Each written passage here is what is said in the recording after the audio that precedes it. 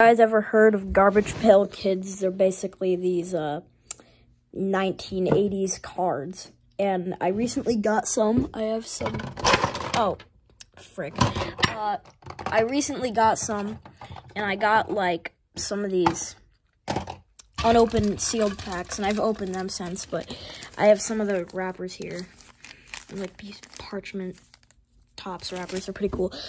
Uh, but I got those recently, well, like a year, almost a year and a half ago. And if you didn't know, Garbage Pail Kids had these like really this gum in it, and I have a bag of old GPK gum. 1987. So if my math is correct, that's 35 years, and this stuff is brittle. This stuff is brittle. Let me get out two pieces of it, and let's listen to this. Listen to this. Like, look at this snap. It snaps like a freaking chip or something. I don't know. But we're going to be trying some. I have had some. I had it. I tried some a couple minutes ago. I want to try more for uh, YouTube. So, yeah. So, you know, let me get another piece.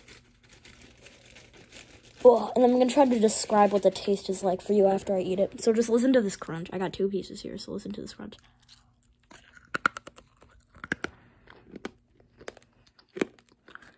Free ASMR. Uh,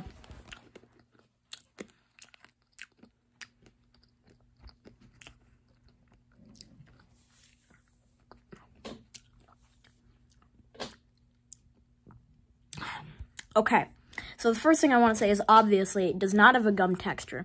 Second of all, it does not taste like bubblegum. It's just this like really like sugary, antique tasting stick. I, I don't know, but it's like, it's like, it starts off like tasting just like sweet. It's like the, if you think of the idea of sweetness, that's what it tastes like. Slowly changes into this like, like antique store, like your grandma's nostalgic carpet smell in your mouth. and it's like all like, it's very brittle. So yeah, not ductile like gum is supposed to be disgusting.